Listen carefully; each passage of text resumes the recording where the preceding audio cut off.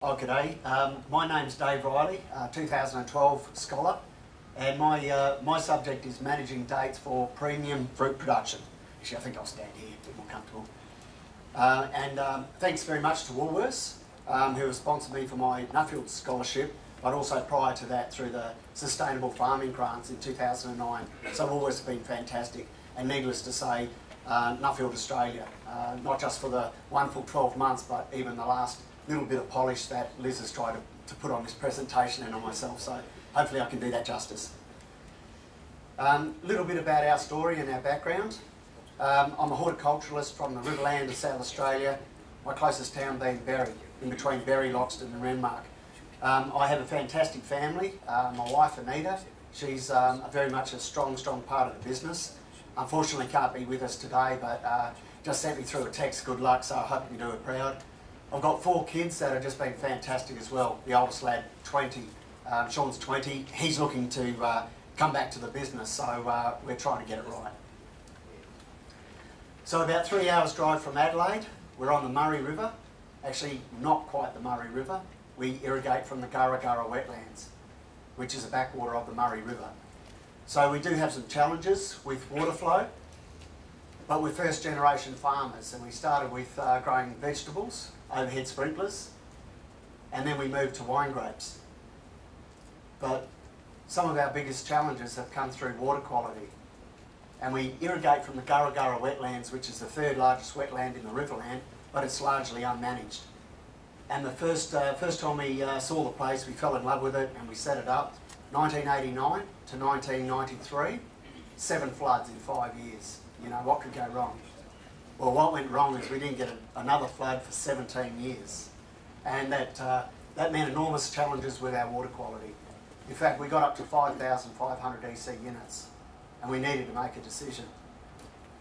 There, there we were, um, a marriage, mortgage, four kids, and uh, you know, it was uh, time to either roll the swag and move on or, or to start thinking um, a little differently. So we, uh, we started to research salt tolerant crops, knowing that that's the environment and the resources that we had to work with. We kept coming back to date palms.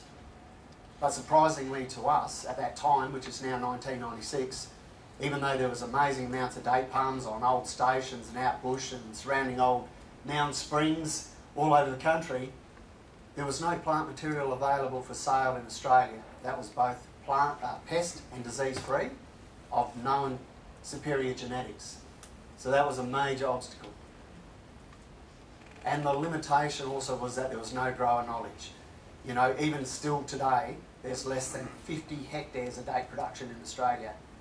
Compare this to 800,000 hectares in the Northern Hemisphere. 40 countries with 7 million metric tonnes of fruit produced in the Northern Hemisphere. Even into today in Australia, it's still barely 20 tonne annually. So we're right at the very start um, of a new industry. So the knowledge gaps, that's what, they're the challenges. Um, it's been a few year, years building up to it, but in 2001, Anita and myself um, had some success in importing the first genetics into the country. Uh, it took a while building up the infrastructure at home to accommodate that, and it's a long story which I'll just summarise today. That it's been a challenge, but I'm very proud to, um, to inform you that, that today we have 25 varieties of some of the world's best genetics originating from countries like Iraq, Iran, Saudi Arabia, United Arab Emirates, Morocco and North Africa. So moving on through this time that's, um, that's um, taken us, uh, I guess, one season at a time, we've had fantastic support from Rural Industry Research and Development Corporation that have identified that there could be some positive industry spin-offs for what we're trying to do with our family farming business. So we've really tried to set up Gurra Downs Date Company, which is the name of our home business, as a research and development field trial site where we economically and climatically evaluate these varieties which we've imported. And moving on through the years, just recently uh, we're starting to, to reach the exciting stage now where we're actually achieving commercial fruit production. Uh, when I say commercial, it's still very, very, very small, but we now know that there is a couple of varieties in particular that we can go ahead in, uh, into mainstream production while we're still waiting for younger varieties to come on and prove themselves. However, as I'm walking up and down these rows and understanding the limitation uh, in knowledge available in Australia, I can't help thinking that there must be better ways, or, or what is the best way to irrigate?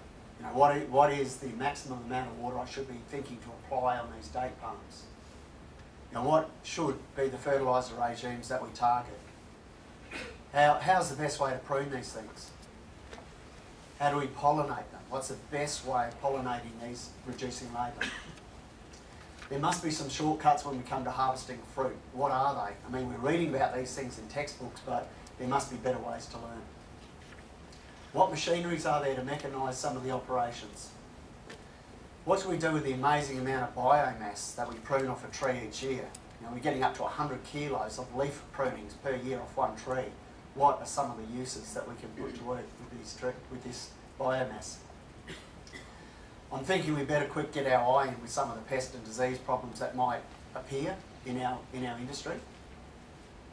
And also the date palm, because we're planting 9 to 10 metres apart, lends itself to intercropping between those rows. So what are some of the examples? Well, all of these things are going through our mind and we really got very limited learning in Australia and that's why I was just so thrilled to, to apply with the uh, encouragement of another South Australian Nuffield scholar who encouraged us to apply uh, under the Nuffield system. Um, and again, thank you for Woolworths because the, the, the learning over the last few months has just been profound. It's allowed us to set off, and when I say us, I'm talking about my wife and my younger son, Jonty, accompanied me through the USA and Mexico.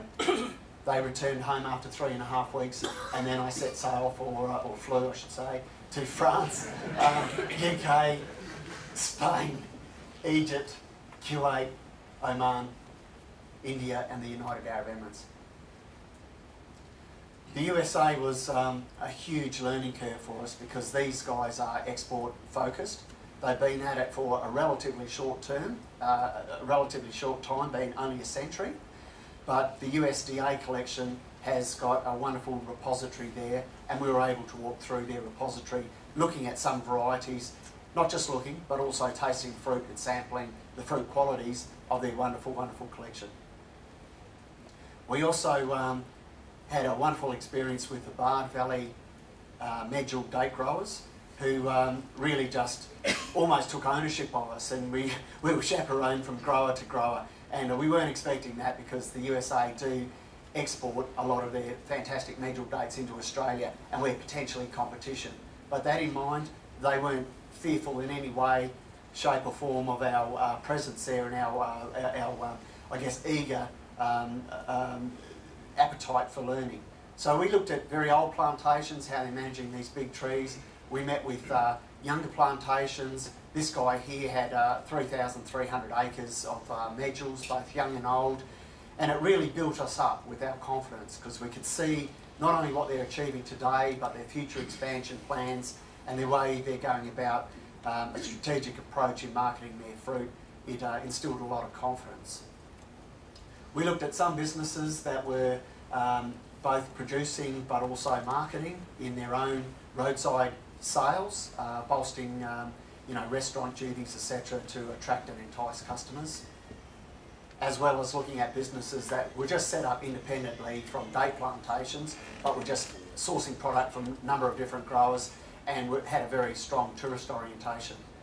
Uh, so yeah, we looked at quite a few um, date specialty marketing shops and it did give us some scope, I guess, at looking at that particular way of marketing fruit, as well as looking at a very interesting um, way of broadening the product base.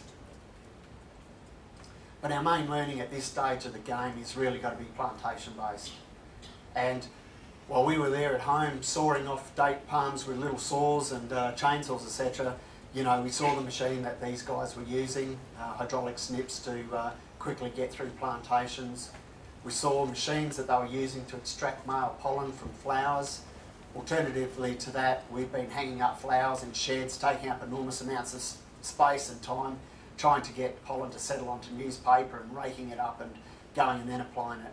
These guys were extracting pollen and then they designed specialised pollen blowers for treating broadacre uh, plantations at flowering time uh, very quickly and efficiently.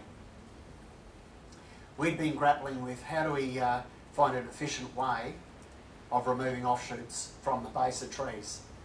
Offshoots are genetically identical to the parent plant, so they are valued. We do need them for future expansion, but you do win a few blisters, and we were finding up to three or four hours of swinging a sledgehammer and a crowbar uh, and, a, and a chisel to get uh, you know, even one offshoot off. Um, they're important to us because uh, you know, we can get uh, fruit production from an offshoot in two to three years. But after we uh, saw these guys with a jackhammer power head and a harpoon chisel point mounted on a bobcat, we can understand now where we need to be thinking and the efficiencies we can gain. Uh, just get out of bed but uh, with a little bit more spring in the step in the morning when we get on a bobcat as, as opposed to a crowbar. One of the other main uh, difficulties that we haven't had to grapple with yet, but we know it is coming, is how do you get up these bloody things? And um, I guess it's not fair for uh, us uh, for, for, us to um, expect an employee to put a rope around a trunk of a tree and shimmy up a date palm. It's probably not realistic in this country, although that is still probably the way that most of the 800,000 hectares are managed in the, in, in the old date grown world. The Americans have gone through a system of developing these hydraulic lifts and these platforms, which is taking them a long time, and a legal team to get these through the occupational health and safety agencies to be approved.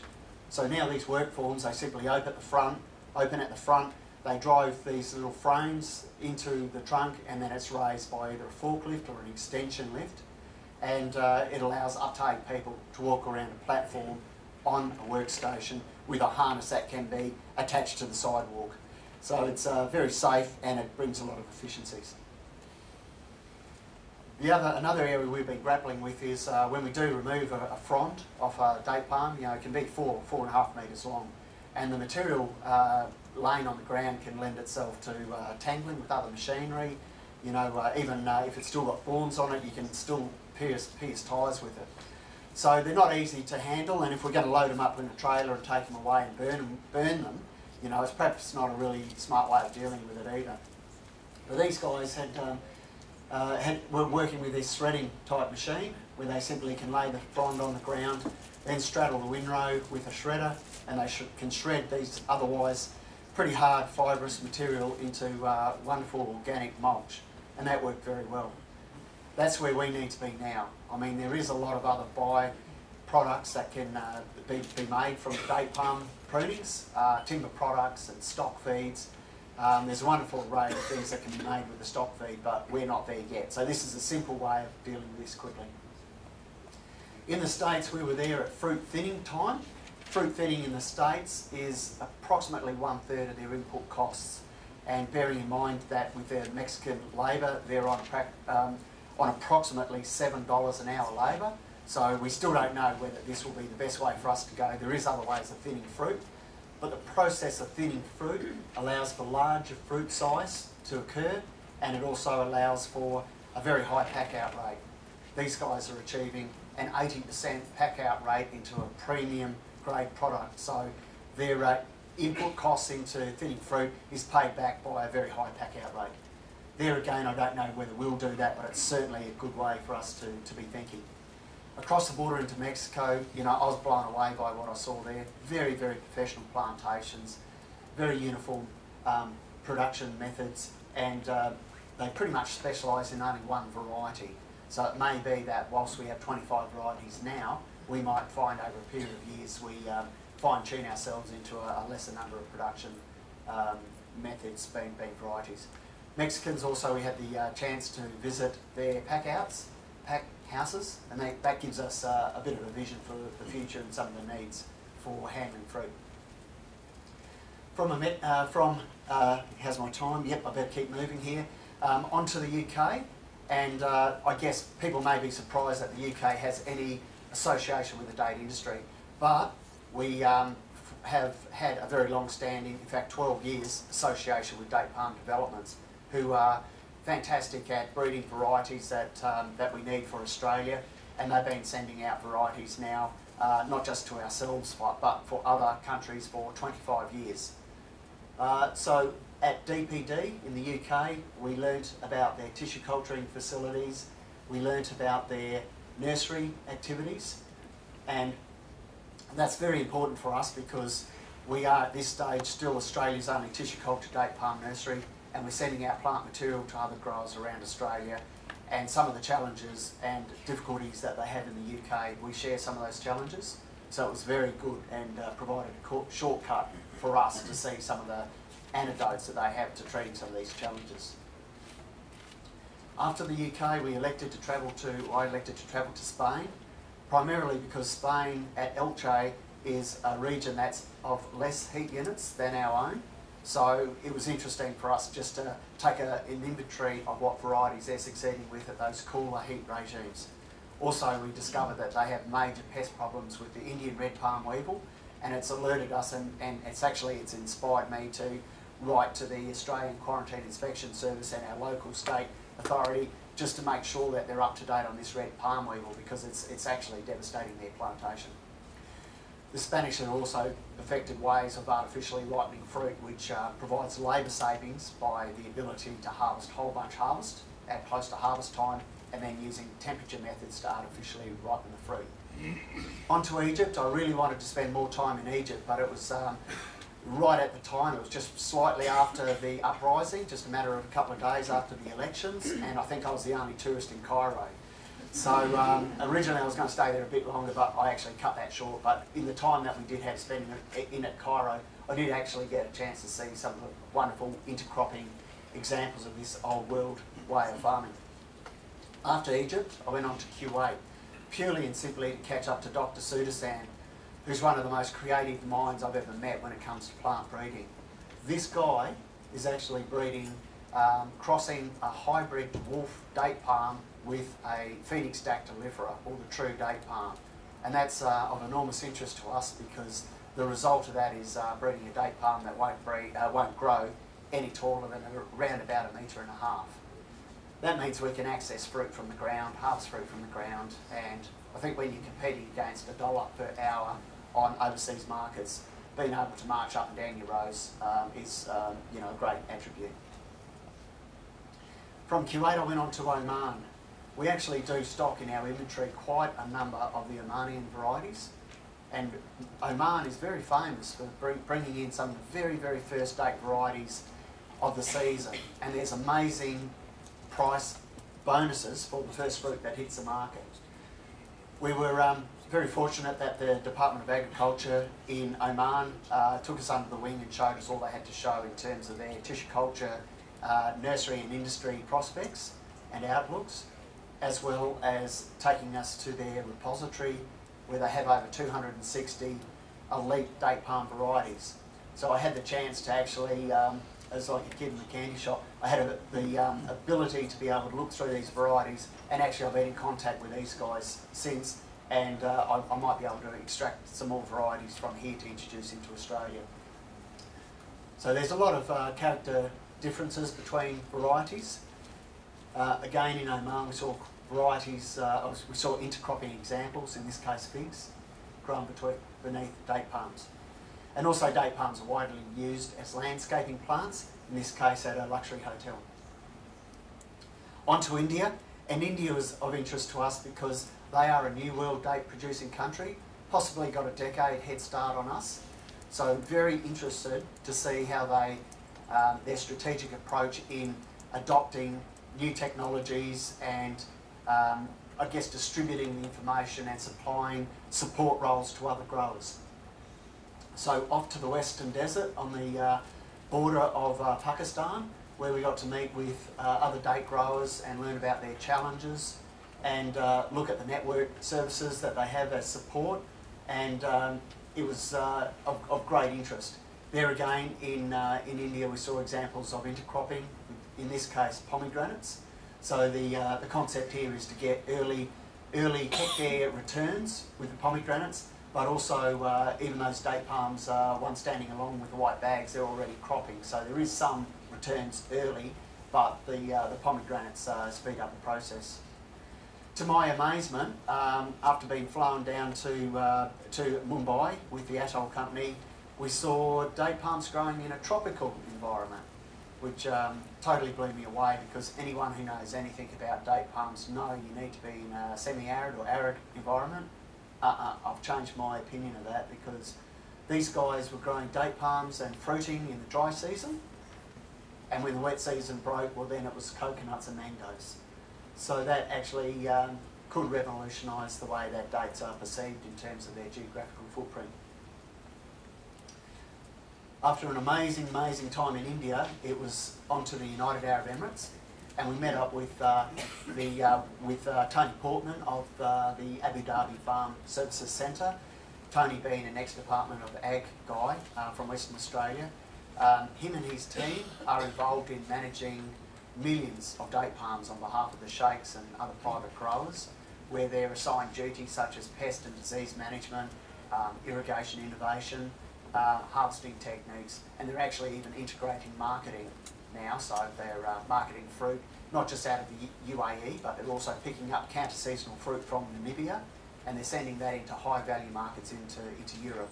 But I learned a lot from these guys, and uh, they're coming out with um, groundbreaking um, information on particular, particularly irrigation water requirements which I'd like to think is um, an Australian-born idea that's been integrated into um, particularly Abu Dhabi, where previous to Tony and Tony's uh, team's influence, there wasn't uh, really much known um, about that program. At the Liwa Date Festival, it coincided with the start of the harvest date, and that's a, a pretty exciting time for the Emirates, the Emiratis, because uh, it gives them an opportunity to participate in the Liwa Date Festival. And that means if you're lucky enough to win the heaviest bunch, this year it was 110 kilos, you can drive away with a brand new four-wheel drive. Likewise, for all the different categories of fruit, whether it be Kalar, Khalas, Barhi, Medjool, Ambra, there's all these different varieties of fruit. And I had the very good fortune of sitting down with the judges and understanding what it is that makes a top quality fruit. But there again, the, the uh, participants of this competition, the winner of those classes, drive away with a brand new four-wheel drive. So it's uh, quite inspiring. Unfortunately, they don't take. Um, yeah, yeah, the Australian fruit can't get in there, unfortunately. Um, whilst in Dubai, I visited, visited the International Centre of Biosaline Centre, Centre, and um, they're basically um, targeting pastures using um, uh, saline water, but they have had a long-standing trial running with date palms, and at 5,000 EC units, 10,000 and 15,000 EC units, their trial, um, basically I can conclude from what they were doing there that it's okay to still grow date palms on 10,000 EC units, which um, where us at our highest was 5,500 EC, probably gives us a, a little bit of um, latitude to, to uh, hang in there and, uh, and keep progressing. But the other thing that this example does it show and, and clearly demonstrate is that there is actually amazing potential for wastewater reuse, not just in irrigation, with irrigating, irrigation drainage water, but also right throughout industry. Being able to use water that's quite saline and, uh, and heavy in, in uh, boron, um, date palms is a, a, very good and proven way of uh, getting a secondary crop. Back home, and uh, basically we're starting to implement some of these um, uh, new developments now in our own place. It'll still be quite a long time before we get to implementing all of them. But we still do get farmers turning up quite interested in what we're doing and we're happy to share that tale and I'd, I'd really like to, to um, you know, uh, thank the Nuffield team for allowing me to do that and, and certainly it's not just my own family that are benefiting from the sponsorship that Woolworths and Nuffield have, have, um, have, have um, endeared upon me, but it's also these other growers now that uh, are coming looking for information. We're able to share that with them. So my recommendations are simply, let's get as much mechanisation in the Australian date industry as possible. Let's introduce these hydraulic lifts so we can adhere with occupational health and safety standards. Let's um, implement this acquired knowledge and we'll distribute as much of this information both through the grower manual that I'm writing at the moment and, uh, and other information through the uh, Nuffield website and the RIRDC website as we possibly can. In conclusion, it'd be remiss of me not to uh, reflect on the wonderful time that I had in the Global Focus program.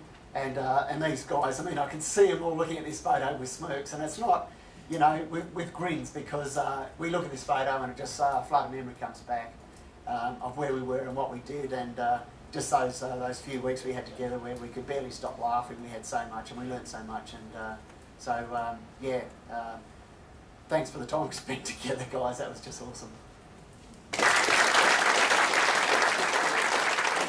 Is there anywhere where there's a concern about them becoming woody weeds? For that, yes, there is. In the right environment, the date palm does need ample water supply to grow. It is rare that they do get out of control, but I have seen them out of control at the Dalhousie Springs National Park, and in that case, uh, an unmanaged environment, unmanaged for more than 100 years.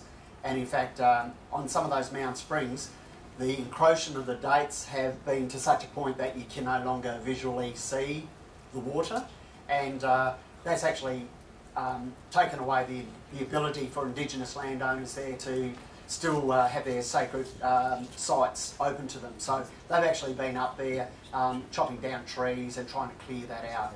But um, that's only here in Australia. In some countries, it's actually um, an offence to kill a date palm, greeted with a death penalty. So I'll just uh, put that there as uh, background, and I would like to talk to our uh, policy makers and uh, see if we can't adopt some of that thinking here. But I just wondered if you could tell us about the award you've you've already received um, with your dates. In 2010, um, our, our family was very fortunate to win the International Khalifa Date Palm Award, which was hosted in Abu Dhabi. And uh, I guess to reflect the story, um, out of the blue came a phone call um, asking us to keep this particular time frame free. And then we were sent plane tickets and we were flown to Abu Dhabi, um, my wife, and uh, also at that stage my oldest daughter Jessie accompanied us, and they put us up at the Royal Palace, uh, complete with our own butler, um, for a week. And it's like go your hardest at the restaurant, and uh, to, to, sort of paint the image. And I don't know if anyone's had the good fortune to stay at the Emirates um, Palace, and uh, you probably relay the story yourself if you can, but. You know, they've got a bar for cigars and a bar for caviar, and it's really top shelf stuff. You park your yacht out the front of the marina, and in you go.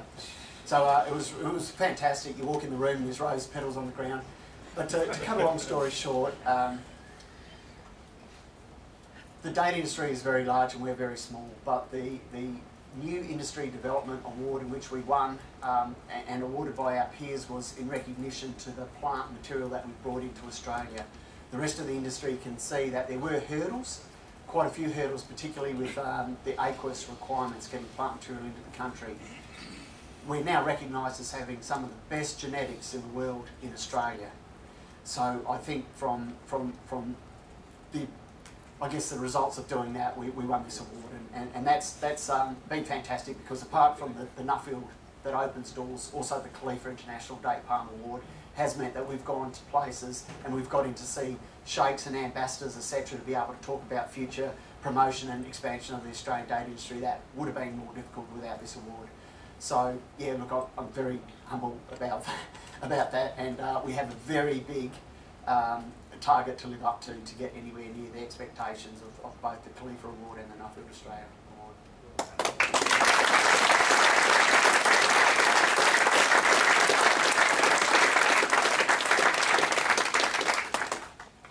Have you established you know, frequency or a watering schedule that you'll need in, in your soil types? And also, do you understand now what your total water use requirements will be into the future? Um, I'm, uh, I'm still largely reliant on others. There's others around that are better at putting that information together. My philosophy, we are changing and we are adding sophistication to our model, but up till now, when we're irrigating with you know upwards of 5,500 EC units, it's been about survival. And I have not wanted to invest in technology like measuring the monitor monitoring. I'd rather put my money towards importing um, in vitro plants, and that way I know I've got you know distribution, cash flow that can come my way. But um, fortunately, we've been working in with um, the Northern Territory uh, Department of Ag and also the Victorian Sunraysia TAFE and these guys, they've got all the sophistication in terms of uh, moisture monitoring equipment. So I'm actually going to be looking at um, extracting information or, or, or, guiding people to them to, uh, to, to, to, disseminate some of that information. Um, some of our own experiences regarding um, water and water usage, um, we're actually we're starting to work with wastewater producers now. And uh, one of my um, favourite customers is uh, the large, large winery, BRL Hardy, Like they're called Accolade Wines now, largest winery in the southern hemisphere. Um, we had a phone call one day several years ago saying we've got 300 megs of wastewater.